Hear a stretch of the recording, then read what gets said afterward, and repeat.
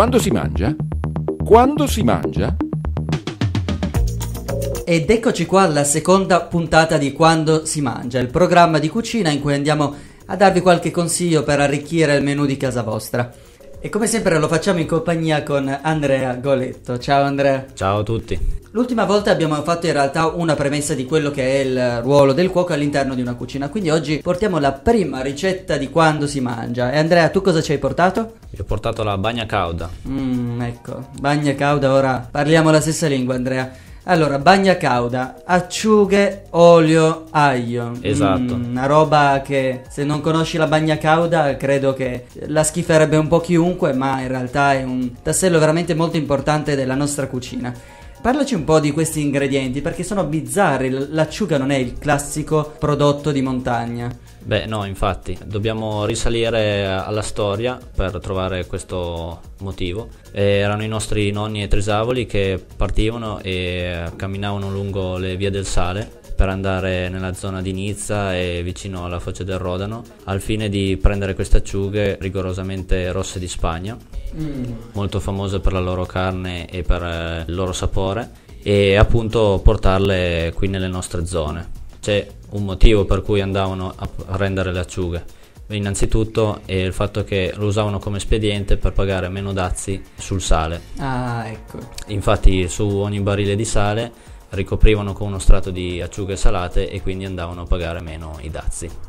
So che tra l'altro non era una, una cosa solo delle nostre parti. Assolutamente no, infatti ha origini francesi, infatti quando andavano a prendere le acciughe eh, nella zona di Nizza e della Provenza videro questa salsa tipica francese che si chiama l'anchoyade e da lì presero spunto per poi fare la nostra bagna cauda. So che alcuni nel periodo più moderno aggiungono anche la panna, ma ci va o no questa panna?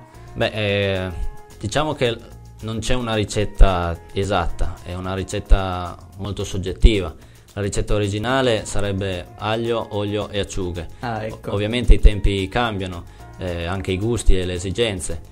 Quindi negli ultimi tempi siamo andati ad aggiungere e, tra virgolette, a profanare questa ricetta con la panna o con il latte. Quindi ad- abbiamo un po' creato la base di, di questa salsa, ma mh, mm, con cosa lo possiamo mangiare? Innanzitutto la bagna cauda è nato come piatto conviviale infatti si mangia tutti insieme attorno a questo tipico fouillotte, si chiama, di terracotta.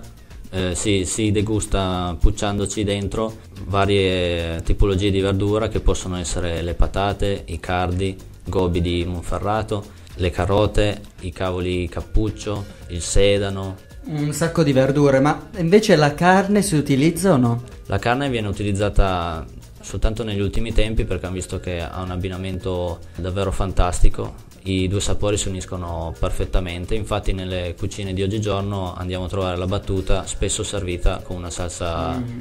eh, sopra di bagna cauda.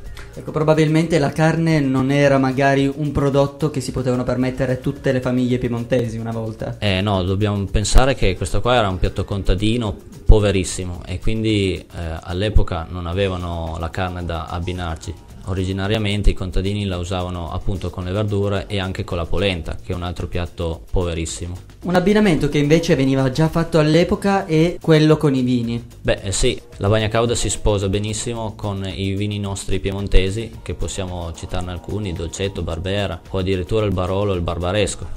Proprio per il loro sapore corposo e intenso vanno ad abbinarsi benissimo con il sapore forte dell'acciuga e dell'aglio.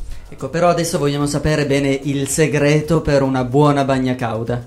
Innanzitutto ci vuole tanto tempo per farla perché deve essere cotta a fuoco lento per diverse ore. L'olio deve soffriggere piano piano con l'olio e l'acciughe finché si disfano e vanno a creare questa salsa amalgamata.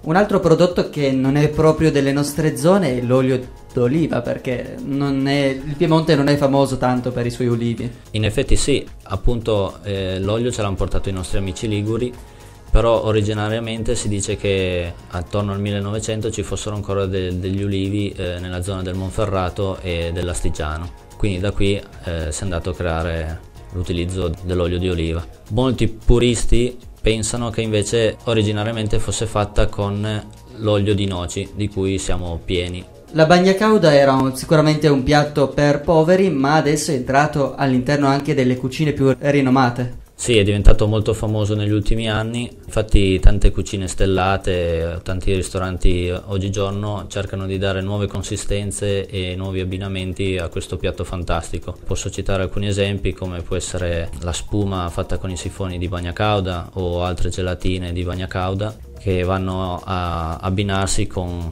carni o pesci o addirittura verdure al fine di dare provare nuove esperienze di questo fantastico piatto. Sicuramente anche per andare un po' a modificare quell'impatto visivo della bagna cauda, dandogli un'altra consistenza, dandogli un'altra forma. Sì, perché oggigiorno comunque diamo tanta importanza all'estetica.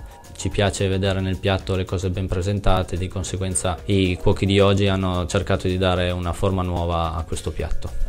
Ok, grazie Andrea di averci spiegato meglio questo piatto apparentemente semplicissimo perché formato di base da tre ingredienti ma che in realtà ha una storia veramente pazzesca. Agli ascoltatori invece vi diamo appuntamento alla prossima puntata di Quando si mangia e buon appetito! Quando si mangia? Quando si mangia?